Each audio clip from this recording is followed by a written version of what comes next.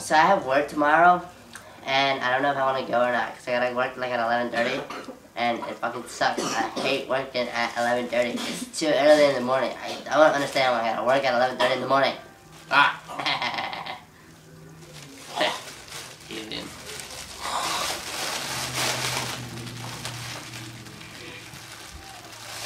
So I wonder if they're gonna be mad that I took all the helium out of this balloon. I hope not though. I hope they don't get mad at me because I don't want them mad at me. I mean, it's just helium. It's just a balloon. You can always get another balloon with more helium in it, but I got a lot of helium in this balloon. I'm talking so funny and now my voice is uh, so lightheaded.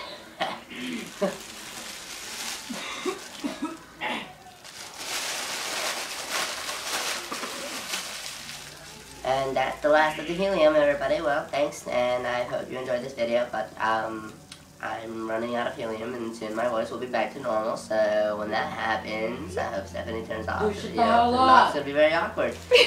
thank you, thank you, and goodbye. Oh, wait, more helium. Hmm, where's that? Where's the hole? Hmm. Hmm. Hmm. And that's the last of it. Very cool.